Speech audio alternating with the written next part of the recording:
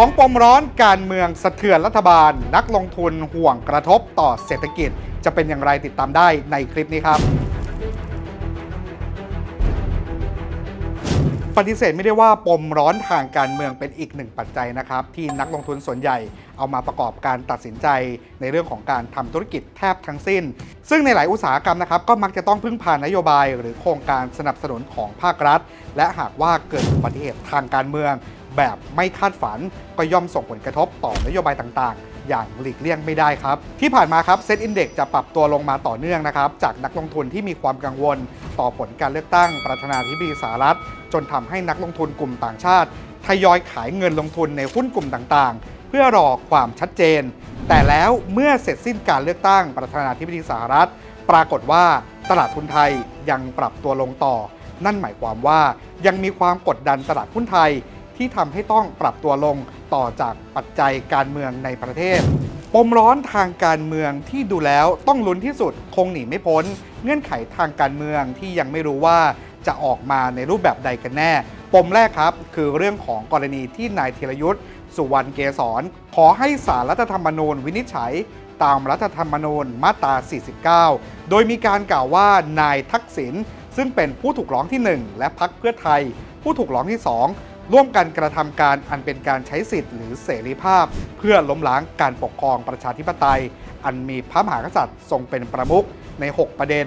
ผ่านสำนักงานอายการสูงสุด เพื่อส่งต่อไปยังสารรัฐธรรมนูญ เพื่อให้มีการวินิจฉัยครับ ซึ่งต่อมาครับสารรัฐธรรมนูญมีการรับคำร้อง เอาไว้ในวันที่ 10 ตุลาคมที่ผ่านมา และทางศาลก็ได้มีหนังสือแจ้งไปยังสำนักงานอายการสูงสุด ในวันที่ 22 ตุลาคม ให้มีการรวบรวมพยานหลักฐานต่างๆ ใน 15 วัน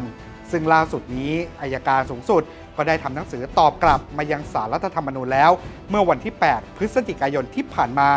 จนล่าสุดมีข่าวว่าจะต้องรอลุ้นอย่างใจจดใจจ่อ นั่นก็เป็นเพราะว่าคำร้องดังกล่าว จะถูกสารรัฐธรรมนูญ หยิบยกมาวินิจฉัยว่าจะรับหรือไม่รับในวันศุกร์ที่ 22 พฤศจิกายนนี้ ส่วนปมร้อนการเมืองเรื่องที่ 2 ก็ไม่ต่างกันมากครับ มาจากเป้าหมายเดียวกัน คือมุ่งยุบพักการเมือง ซึ่งก็คือกรณีที่เลขาธิการคณะกรรมการการเลือกตั้ง หรือว่ากกต